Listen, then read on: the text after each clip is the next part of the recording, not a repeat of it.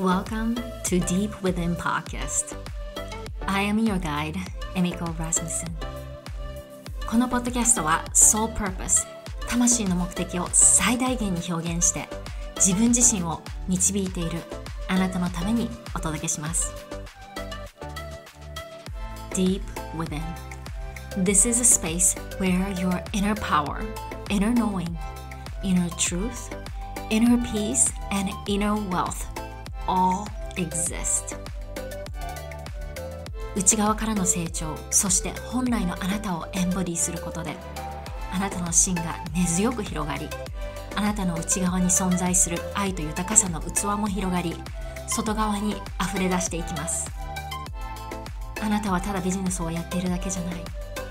You are creating a movement and leaving a generational legacy. この道のりには多くの内なる葛藤戦い不安恐怖と向き合いますが You are actually meant to walk this path 大丈夫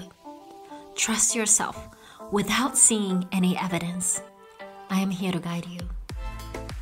Are you ready to go deep within and activate your inner feminine power? You're about to step into your next level leadership and become the living embodiment of who you truly are. Now, close your eyes, put your hands on your heart.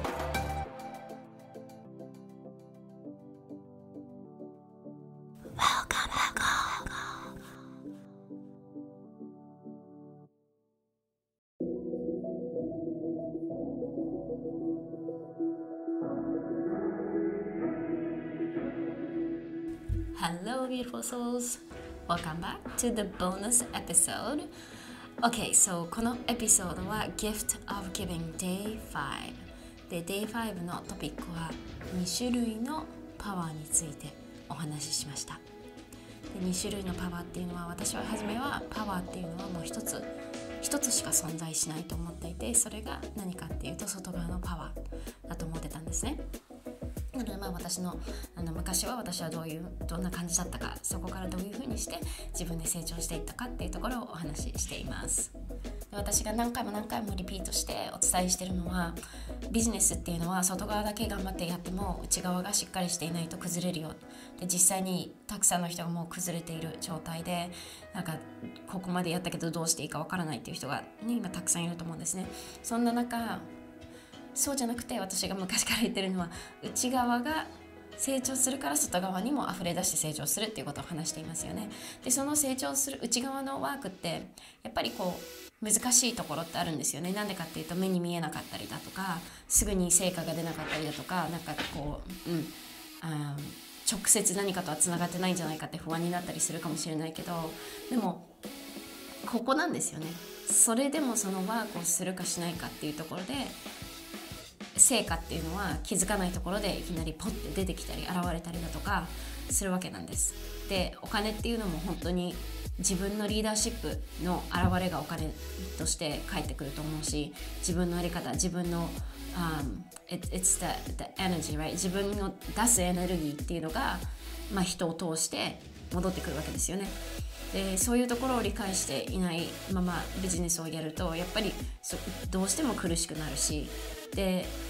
その土台だけもちろん土台だけやっても本当にわからないわからないというかビジネスっていうところでビジネスが回らなくなってしまう。だから今このステージに来て Oh my gosh this is really difficult すごく難しいなって感じてる人たくさんいると思うんですね。It's you do need the inner work and then you also do need to understand how the business works. だからビジネスのオーナーとして起業家としてしっかりとビジョンを持ってビジネスっていうところにも責任を持ってやること。でも結局そこっていうのは本当に内側からの自分の責任の取り方自分の考え方自分のものの見方、right、もう全てだと思うんですよね。So you really have to start within 自分からスタートすることが本当に大切です。で、それをするために私はヒューマンデザインのツール、ね、システムがものすごく役に立ってこのシステムを理解するだけでこの世の中って本当に変わるんじゃないかなと思うぐらいものすごいパワーを体感体現しているんですね。でコンペティションっていうのもなくなるし自分が自分のこのパズル世の中に世の中で自分が一つのパズルのピースとして存在してるっていうことをしっかりとこう自信を持って、うん、生きることもできるしそして自分の inner power っていうのが何なのかっていうのもただ単にここれなのかなこれなのかなっていう questioning 探るんじゃなくて This is it っていうのも分かるしそしてそれを使うことができるとそれを使って他の人をガイドしてただ単にあなんか大丈夫そうですっていうそういう、うん、結果ではなくて Oh my gosh this is working.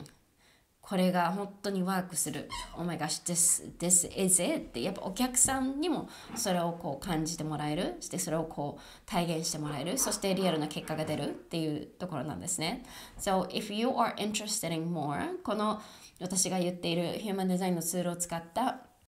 エナジェリックエッセンスメソッド。これをあ学びたい人はですね今私が無料で、えー、とそのビデオを私がどういうふうにして自分の self-mastery 自分を理解するために使っているかどういうふうにしてお客様私のセスペ sisters をガイドするために使っているか自分をどう私のビジネスをどういうふうにこう伸ばしていくためにこのシステムを使っているかっていうところをお話ししたレッスンビデオがあります。で show note からそのリンクをゲットすることができます。またはインスタグラムのね、プロファイルのリンクのところからもゲットすることができて、そこからボーナスで Day2 の um, の Activation Experience Day2 で9つのパワーの鍵を開けるっていうレッスンをやったので、そのアクセスもついてきます。So enjoy this free lesson or free video. Alright, on to the gift of giving, day 5.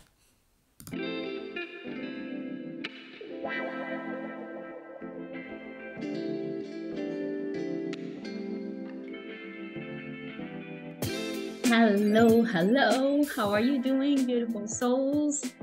今日は Gift of Giving マイクが Gift of Giving 今日はですね、um, Day5 です。今日は Gift of Giving Day5 で今日のお話は2種類のパワーっていうことをお話ししていきます。Okay? Oh, hello, good morning, Bhutan, hello, hello. Okay.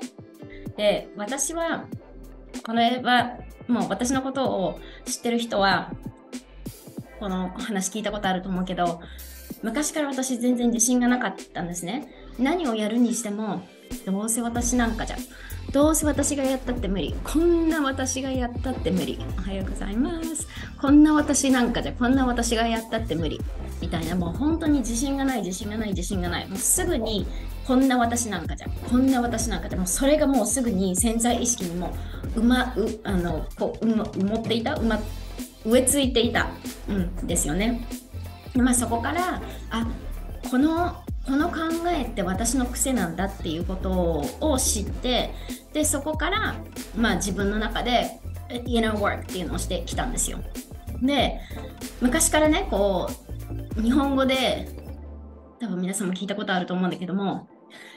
自信がないから自信をつけなさいとか、自信がないんだったらちゃんと自信をつけなさいとか、自信、しっかりちゃんと自信を持ちなさいっていう言葉、もしかしたら誰かから聞いたかもしれない。ちゃんと自信を持ちなさい、自信つけなさい。あとはどうだろう皆さんなんかそういうふうに言われたことあります？自信っていうところで。で、だから私勘違いしてたのずっと。その、あ、自信、自信、ちゃんと自信持たなきゃ、ちゃんと自信つけなきゃってすごい私の中で勝手に思ってて、だからその自信っていうのが何かっていうと、なんか上に羽織るものっていうふうにすごく思ってたんですよね。で、でもこのジャーニー、私がだからそその、あ、自信こ自信がないとかそういう勝手になんていうのかなもうネガティブ思考なのはこれは癖だからこれは変えていくことができるんだっていうことを学んででこのジャーニーで分かったことがあってそれは何かっていうとその、まあ、自信っていうのはもちろん着るものじゃない。ね、でその自信っていうのがそのパワーっていうところとすごくコネクトしていると思っててそこで私が分かったことはこの世の中には2種類のパワーがある。で1つは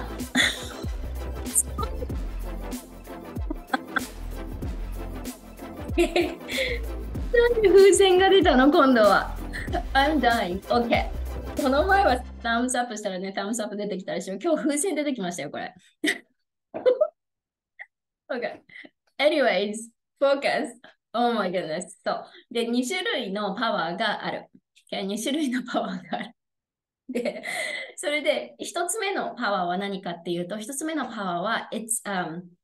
circum circumstantial power。だから条件付きのパワー。外側のパワーなんですよね。条件によってパワーがあるない条件。外側の状況によってあるない、パワーがあるない、パワーがあるないっていう風になるそのパワーと、もう一つのパワーっていうのが私がよくお話しする inner power。内側のパワーっていうところですね。だからこの2つ、2つの2種類のパワーがあります。だから私は今も、今までっていうかもう何年も前になるけれども、どのパワーにフォーカスしてたかというと、一番目のそのパワーって何かっていうと、この circumstantial power。条件の、条件のところでのパワーっていうところにすごくフォーカスをしていました。だから、できたらパワーがある。こう成功したら私は自信がある。できてこうだからパワーがあるって、もう、もうだからもう、なんていうのかな、ブレてるというか、もう条件に頼って頼って頼っていたんですね。で、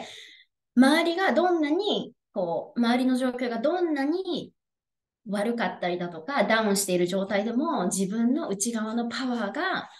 こう変わらないっていうところをやっと知ってるじゃなくて、やっと理解して、それを体に落とし込んで、もう体の表面的なここで理解するんじゃなくて、知ってる聞いたことあるじゃなくて、それを実践して落とし込むってことはどういうことかっていうと、本当に何かこう外側の部分で何かいいことがなかったり、うまくいかないことがあったとしても、内側の部分のパワーは変わらない。っていうところをしっかりと、こう、プラクス、一発でできるわけないんですよ。かずえさん、提供。かずえさん、今日、風船出てきましたよ、風船。なんかやったら風船がポーって飛んできました、今日は。Anyway, so, yeah.、だから、すごいその、条件付きのパワーっていうところが、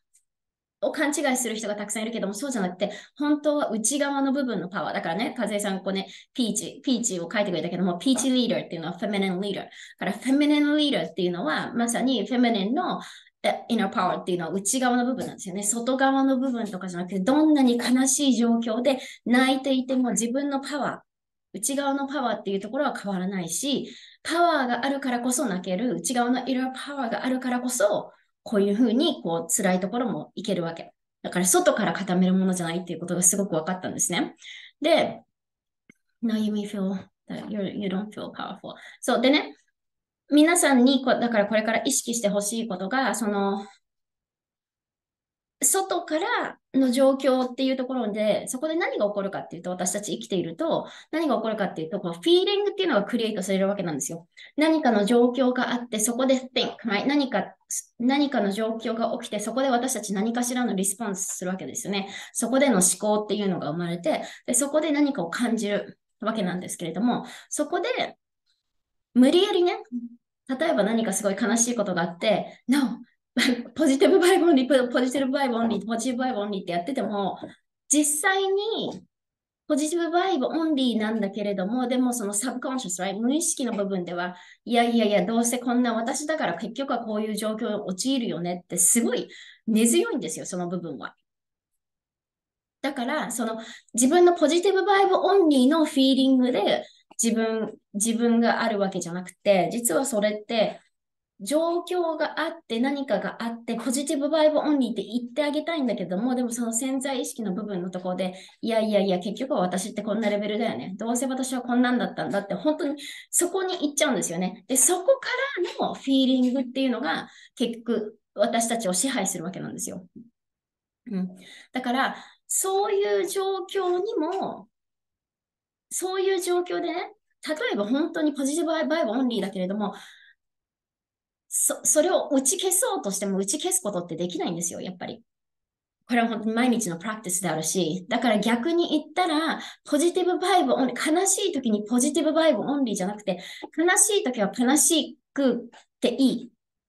で、それがイナーパワーなんですよ。悲しかったら悲しくていい。悲しいことをたっぷり自分に感情をこの感じてあげることでいい。受け入れてないのにポジティブになっても逆に働いてしまう。そうそうそう、そうなんです。そうまさにそう。だから、そういう状況においても、だから、こう、周りのね、状況で固めようとする人っていうのは、ポジティブバイロン、オンリーポジティブ、私は大丈夫みたいな感じで頑張っちゃうんだけども、内側のそのね、ピーチリーダー、インナーパワーっていうのをしっかり持ってる人たちは、I'm sad. だからといって私はパワー上げてるわけじゃないの。私は今 sad、悲しいし、苦しいし、辛いっていう、そういう powerless、パワーがない状態になってしまうかもしれないけれども、でも、でも自分のそのパワーレスに感じるね、フィーリングとしては感じるけれども、でも、それはそういうふうに感じるだけであって、でも本当の私のパワーっていうのは何も変わらないよ、なくならないよっていうところをしっかりと覚えておいてほしいんですね。で、そうすることによって、そういう painful ななんか、そう、もう辛い、痛いような経験とかがあっても、そこに私たちのレッスンっていうのがあるから、そこから何か学ぶことっていうのもできるし、もうそれがだから、 painful lesson っていうのは、もう本当に私たちの中で豊かなティーチャーなんですよね。たくさんのことを教えてくれるわけだし、あとは例えば、これ私自分のメンターに言われてすっごい、あの、なんていうのかな、本当にもう感謝だったのが、例えばね、面接とかで自分がじゃあリーダーポジションとか受けたときに、一発で合格しないんですね。私の場合はだいたい一発で合格合格しません。落とされます、一回は。絶対に。で、なんでかってね、私一回聞いたことあるんですよ、自分のボスに。そしたら、Oh, I didn't feel that you're ready. I didn't feel like you're confident enough. あなたは全然なんか自信なさそうだったからと、本当に言われたんですよね。自分のボスに。だから、あの、あなたはまだリーダーシップのポジションはまだあの準備できてないっていうふうに言われたときに、もうぐさって刺さったわけなんですよね。ほらね、どうせ私はこのレベルだよねって思ったんだけども、その時に、私のメンターが言ってくれた言葉が rejection。rejection っていうのは拒否っていうかね、あの、ごめんなさい、今日はこの、今回はこのポジションをあなたにはあげることができませんっていうその rejection をされたときに、rejection っていうのは、it's not a game over. rejection は game over じゃないよ。It's not the, it's not the dead end. それはもう行き止まりのサインじゃないよ。Rejection っていうのはただに redirected。redirected to a different path. ただ別の opportunity っていうところにあなたはこうあのな流されただけだって全然それでもおしまいじゃないから don't stop って言われたことがあってもう本当にその言葉に私は救われたんですね。そう。だから、その、たとえ何か別の道にこう流れたとしても、別にそれが間違ってるとかでもないから、そういうね、結局だから、その外側から自信を固めようとするっていう人は、外側のパワーに頼っちゃってるわけだから、reject されて、あ、oh, no, I don't have a power. Right? No, rejection, rejection があっても、my power, my inner power is not gonna change. 私のパワーはいつまでもここにありますっていうのをしっかりと、私昔はそれができなかったけども、今はそこの大切さっていうのがすごくわかるようになりました。で、それでじゃあどういうふうにして結局それを乗り越えたかっていうのが、想像しただけで今、体がギュッと縮まる感覚だった。でもその感覚を大切にしていきたいです。いや、Oh my gosh, so happy to see you, you son. Yes. でね、um, where, where am I? Even if you don't fit. Okay. そう。でね、だからそういう状況とかにおいて、そういう辛い状況とか、もう本当に自分のパワーがもう頭グラグラしてるっていうふうに分かったとき、絶対感じるときってあるんですよね。いや、いくらエミさんこうやって自分のパワーをって言うけどさ、こんな状況で本当にもう自分の中でパワーなくなっちゃうよってなったときに、私がやることっていうのは、自分の truth、自分の真実をもう本当に思い出すだけ。で、自分の真実っていうのは何かっていうと、本当の自分っていうところに安心とか安全をこう感じる、もうそれだけなんですよ。それだけ。で、本当だったらね、こう、ステップ1こうしてください。ステップ2こうして、で、こうして、こうして、こうするとまた自分のパワーが戻ってくるよって言いたいけど、の、そ、そんな方法は本当にないと思っていて、残念ながら。だから、what is the truth? Right? でね、これ、つい最近ね、私のね、娘にもちょっとあって、何かっていうと、もうなんかさ、子供、まあ、私はね、子育てをしているママでもあるんだけども、なんか、年齢が上がると上がるともう10代、うちはもうティーネイジャーになったんだけども、上がれば上がるほどなんかまた別の問題が来るわけなんですよね。もうニューレベル、ニューレベルだから、ビジネスでもそうだし、自分、自分、自分のライフでもニューレベル、ニューレベルがあって、で、ママの、ママライフでもニューレベル、ニューレベルが出てきて、で、それが何かっていうと、この、自分のね、娘が、あの、なんか、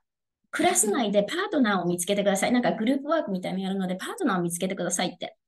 いうふうに言われて時に、で、残念ながら、その彼女のその1時間目のね、クラスは科学かな？なんか科学なんだけども、彼女のお友達仲良くしてるグループが誰もいないんですよ、その中に。で、一応友達っていうのはいるんだけれども、その友達は、順番として言ったら、私の娘は、友達さん、その娘っていうのはこの第3番目ぐらいのね、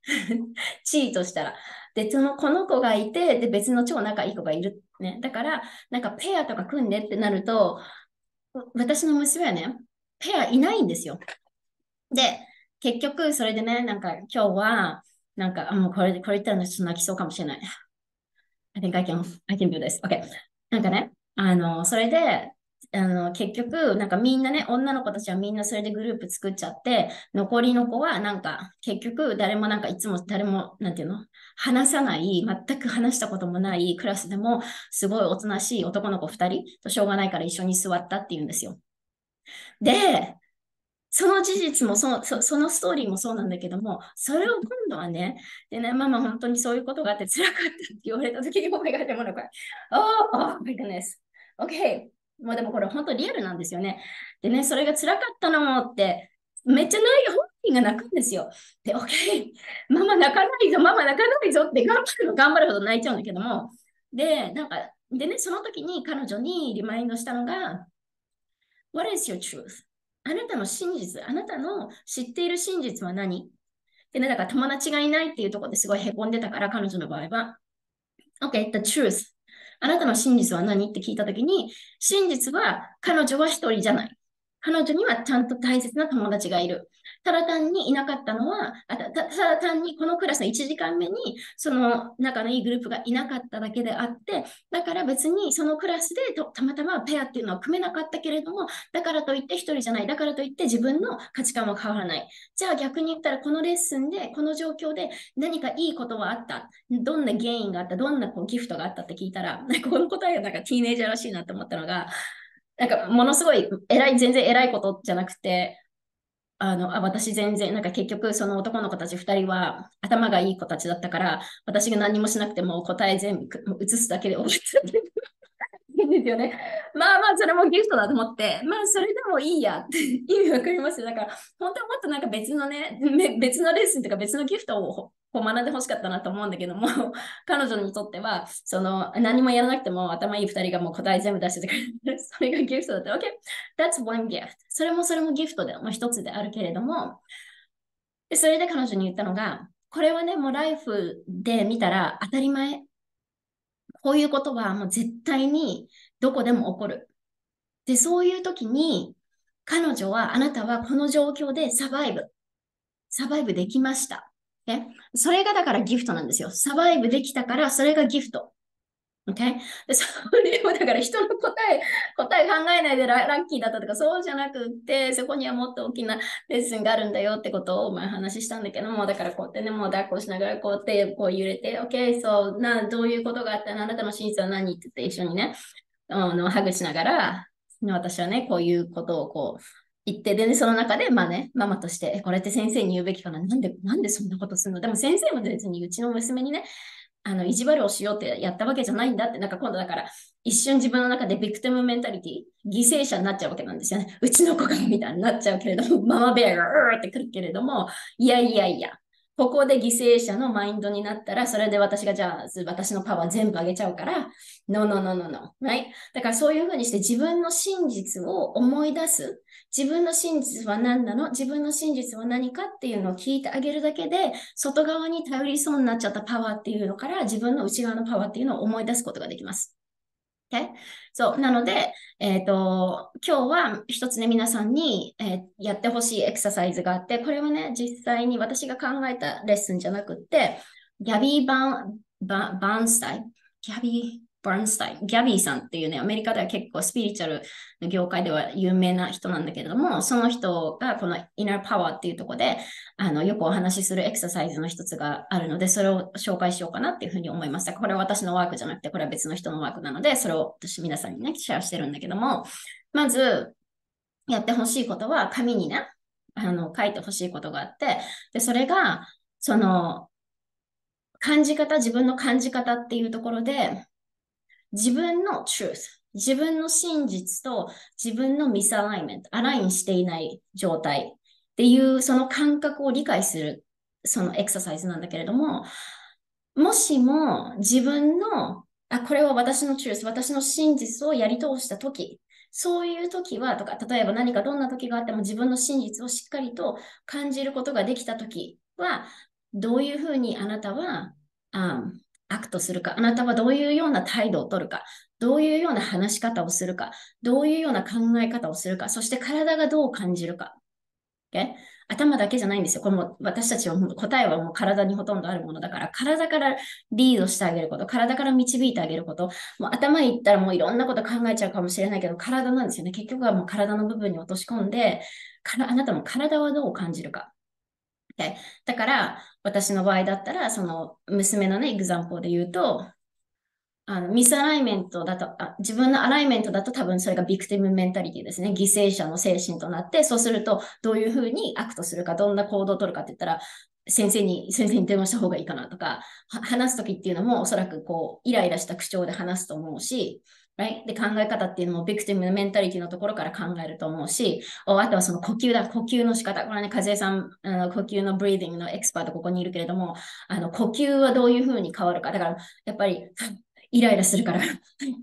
こう、呼吸も速くなるはずですよね、大体。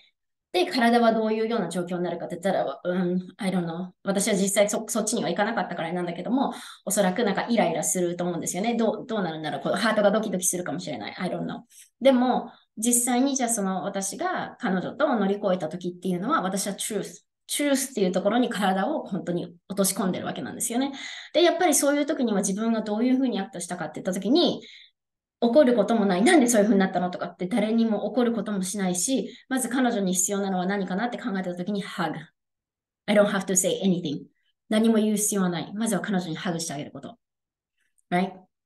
That's healing. 愛はね、癒しっていう風になるから、まずはハグをすること。How did I talk differently? 話するときも、イライラして話すんじゃなくて、やっぱりこう、口調っていうのトーンもすごくゆっくりゆっくり話すこともできたし、一緒に呼吸もしました。彼女もすごい泣いちゃってたから、一緒に take, take a breather, right? 一緒に呼吸しようっていう風になって、呼吸が浅くなると感情に直結します。なるほど。そっかそっか。だからディープブリーズですよね。しっかりとこう呼吸をとって、で、体の、体っていうのはもう本当に、だから私は一緒に揺らしてたんですよね。子供と一緒にこうやって揺らしていたんですよ。うん。だからそう、やっぱりその真実っていうところからの行動とミスアライメントっていうところからの構造だって、やっぱ本当に自分の考え方とかも変わってくるので、ぜひね、その2種類のパワー、パワーは外側のパワーのところに意識をするんじゃなくて、内側のパワーをこう忘れないっていうところ、うん、をしてほしいなっていうふうに思います。ブータン、ミスアライメントしてるときは、そのことばっかり考えてそう。あ、なるほどね、そうね、そこにとらわれてる感じ。いや、そうそうそう、本当にそう。でも、真実っていうところにフォーカスをすると、もうそこのトピックからもう一気に変わるわけですもんね。フォーカスシフトするわけですよね。お Oh, it's 444. 今はテキサスは4時44分です。いや、ということでね、4時44分なので、これであの終わりにしようかなというふうに思うんですけども、最後に皆さんに伝えたいメッセージは、um, 英語で言うと、There's nothing you do to know you have the power because you, your presence, your present is your power. あなたがパワーを持っているということを知るために、あなたは別に何もすることはありません。あなたの存在自身があなたのパワーであります。っていうメッセージを今日は皆さんに伝えたかったです。で、これは本当に自分でももうエンパワーリングだし、で、私はどうしてこういうように、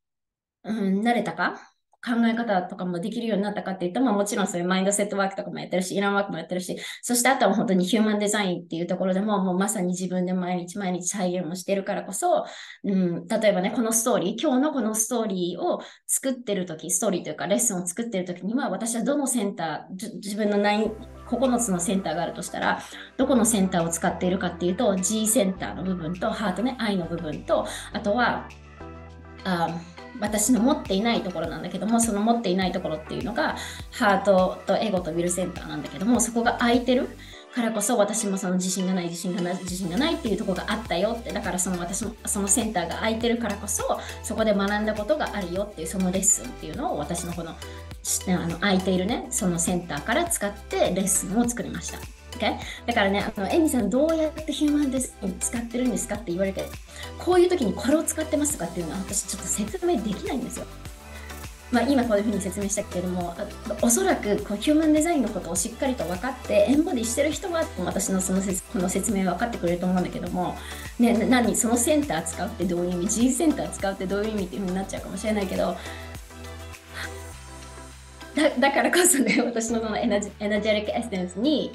エナジェリックエッセンスの、ね、メソッドっていうのをこう理解してくれると分かると思うしそれを他人にどういうふうにあのリードしていくかっていうのも多分分かると思うんですよ。Yeah, so pulse you to for connection, reconnecting. Okay, I hope, can you see me? Yeah. Alright, yeah. ということで、まあ、エナジェリックエッセンスっていうのも、えーと、レッスンはプログラムも来週から始まるので、もしも気になる人は、あのね、その私どういうふうにしてエンパワーできるようなガイドをしていくかっていうレッスンを作ってるので、私のプロファイルのね、ところからリンクをゲットしてほしいです。Okay. thank you so much. かみさん、thank you, thank you. ブータもね、コメントたくさん残してくれてありがとうございます。Well, that's all for today. Thank you so much and have a wonderful day. そして多分日本はウィーケンドだと思うので、Have a wonderful weekend. 来週からまた Day6 をスタートします。